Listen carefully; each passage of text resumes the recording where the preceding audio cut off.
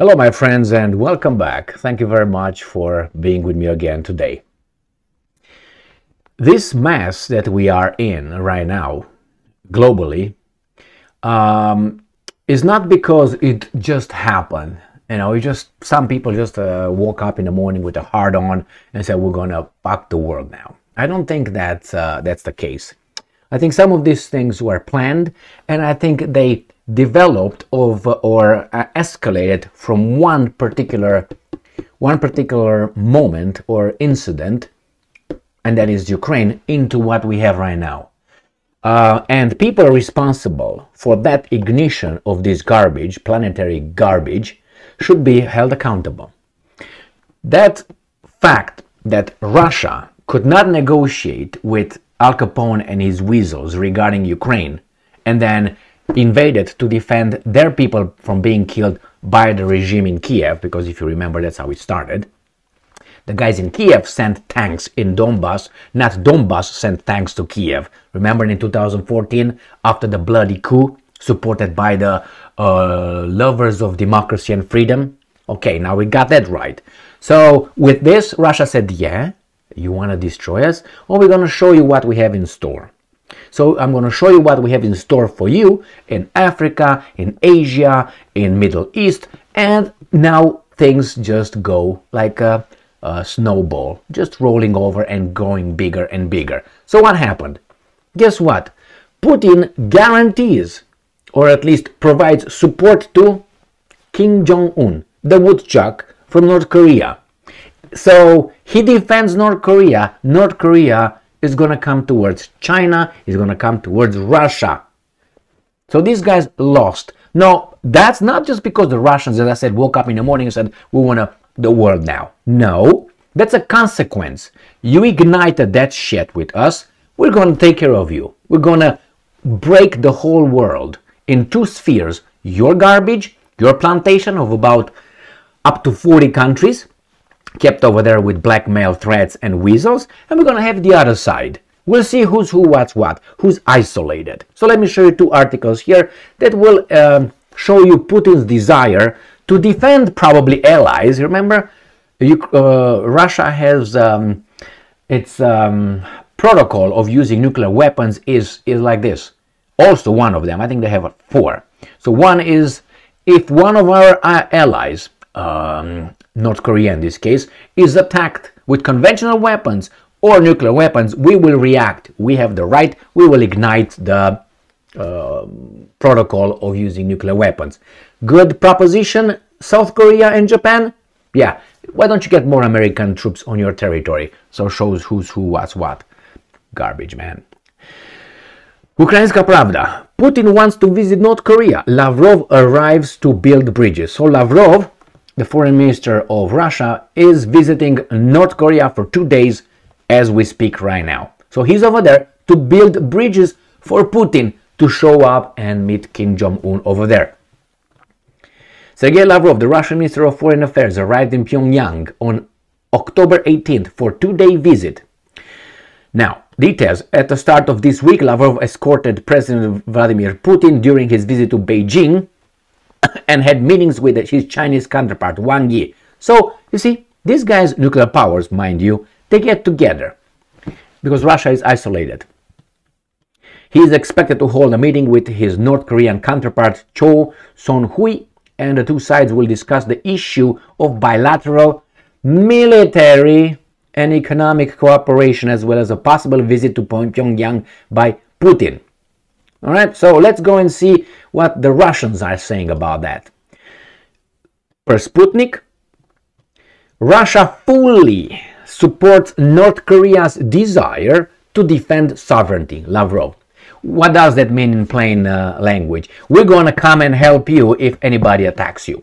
Got that? But they made it, make it a little bit more diplomatic and uh, semantically more, um, how do I put it, um, ingestible by the population, by the ooh, remember?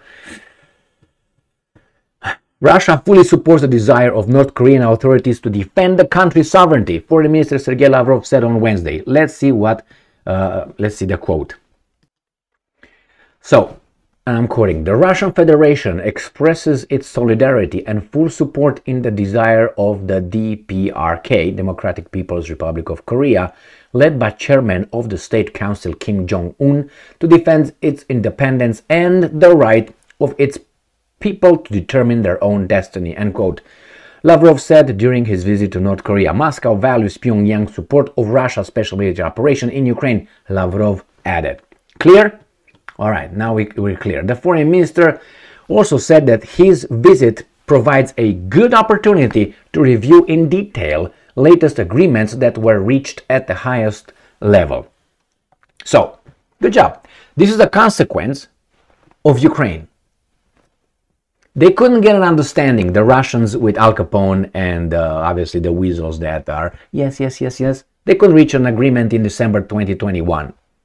And the Russians said, if we get into Ukraine, if we get into Ukraine, we're going to turn things uh, on. And not only that, I think the reaction coming from the West, uh, so called, with the sanctions, kicking Russia out of SWIFT, and all the sanctions with uh, Russian assets stolen, and now they want to use them for, they use something that they, it was not theirs. Okay? How do you call that? Using someone else's garbage, uh, you know? So anyway, um, all that said, okay, you're you're going this far. Oh, you want to get involved in Armenia now? All right, well, we're going to take care of you. We're going to activate our um, little cells in Africa, South America, and in Asia. Why not? And we're going to see how you actually are the victim here, not us. And I think that shows because look at the United States of America. What does United States of America? Do they have anything else but a few countries in Europe, a few countries in Europe. Remember, it's United States and Great Britain. These are the, the only two, maybe Poland. I mean, Poland too, but Poland will look. Like, the wind blows, okay, we're going to go that way. Right? And, and other, other little countries like Estonia, the Baltic states, Lithuania, Latvia, these countries are the ones that willingly, willingly, I would say, go with United States of America, with, with Al Capone. The rest, they have to. So Poland will go with the US, feeling no. Um, Russia and all that. They want Germany, they want Russia, they want everybody, the Poles, who lost their balls, unfortunately, after the elections. These idiots are came are going to be in bad shape. You're going to learn all kind of scientific data now. And uh, you got the Baltic states. These countries go with the United States. The rest don't. Don't. So United States, what did the United States gain? Nobody, no other country joined United States. Have you have you heard anybody else joining them? And you got Israel, obviously, that is the other way around. You know, uh, United States and uh, United States, Israel. Okay, now you got it. So um, on the on the other hand, what's going on on the other side? They have the Shanghai Cooperation, right? They have uh, BRICS. They have this. Uh, uh, what at uh, Shang, not Shanghai, where they um, are right now in, in China can't remember the road something some I can't remember. Uh, the where's 130 countries. 130 countries participate in Beijing right now. 130 out of 195 you take out the 40 from the US plantation which as I said maybe three or four or five countries are willy-nilly with US the rest they have to because they're afraid and they are just grabbed held in their in the US's grip France would not go with United States of America. Germany would not go. Czech Republic, Slovakia, Hungary, Romania, Bulgaria, all these countries, Spain, Portugal. These guys don't go with United States because they like that.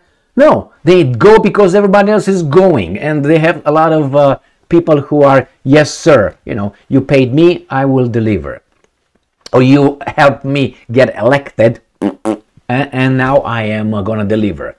So who is actually the um, uh, the so-called isolated one? Russia or these guys? I mean, you gotta be. BRICS is expanding. As of now, I think BRICS has more power, economic power, than G7. What are you gonna do about it? You can't do anything. Nobody's gonna join you. Nobody's gonna join you. Why? Because your past, your history, caused so much damage to certain countries around the world that nobody want to associate themselves with you. That's a problem. Unless you make them. Uh, otherwise, they will not associate with you. Why? Because they know what's happening if they don't follow orders. And people, real people, don't want to follow orders. They want to be independent. They want to do whatever they want. But if you have someone who tells you what to do all the time, and if you don't listen, they're going to kick you in the teeth, or you see that happening to your neighbors, you get the hint. You don't want to live under this kind of terror. The time when it was that, you know, benevolence or America, the light of those are the, the, those times are gone. You know why? Mainly because it was not an alternative, like the Soviet Union that could have been used as bad, bad, bad. Now Soviet Union collapsed, and we see the world United States created. Inva- bombarded Yugoslavia, invaded Iraq, invaded Afghanistan, destroyed Libya, got involved in the Middle East, tried to get Iran, got in Syria. So this is the freedom and democracy, the Pax Americana these guys are trying to uh, push on us. I don't want that. I want peace. I don't want your peace. Because your peace, that means you're in charge. I don't want you to be in charge of anything. As I don't want to be in charge of you. anyway, here it is, uh, my friends. They fucked up too many times, and people no, gravitate towards something away from that. And in this case, that is Al Capone, because Al Capone will get you. It, it, there's not nothing in between. You're with me or against me. Well, really, I can't be uh, on my own. No. North Korea is a clear example of that. You're not with me. I'm going to destroy you. North Korea got uh, nuclear. You can't do anything about it. What are you going to do? Sanctions, sanctions, sanctions, like you're in charge of something. Why are you in charge? Who voted for you to be in charge? Nobody. Get the fuck out.